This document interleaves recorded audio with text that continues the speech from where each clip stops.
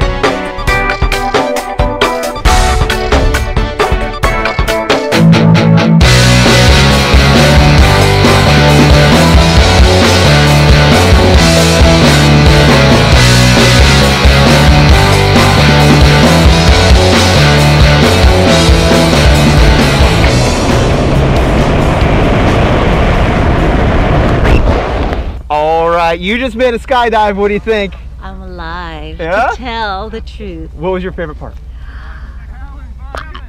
I don't know. It's all good. all it's all right. good. Awesome. Give me a high five.